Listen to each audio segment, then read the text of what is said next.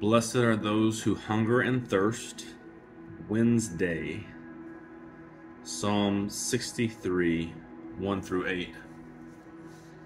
Um, man, I just got stuck on the phrase, Your love is better than life. Uh, I think our translation says, Your steadfast love. The word is chesed. Chesed. And uh, yeah, it means faithful love. As in a dry and weary land, my soul thirsts for you, my flesh faints for you.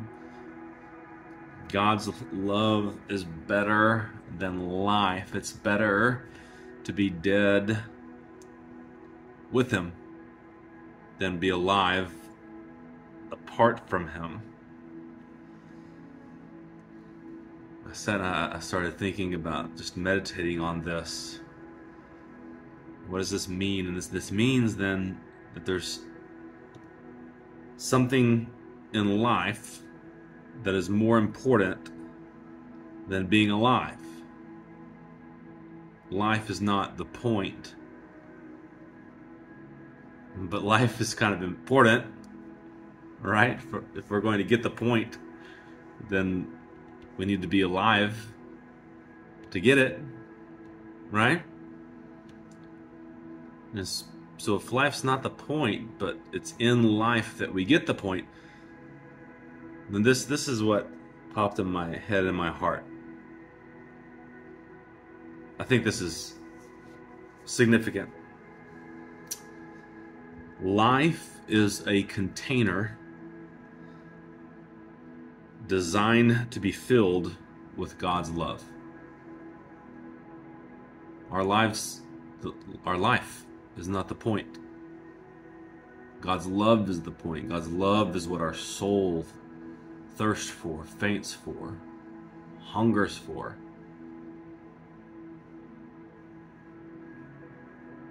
Life was created by God as a container. Its purpose is to contain, to be filled with the love of God.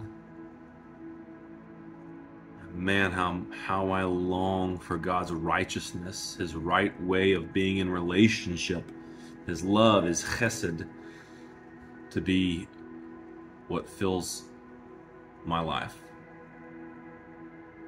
Which makes me think through my actions, through my thought life, through my prayer life, what am I filling my life up with?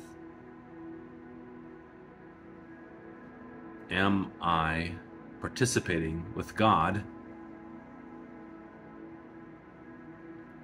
and leading my life to be a container of His love? Because life's not the point his love is. Blessed are those who hunger and thirst for righteousness, for they shall be satisfied.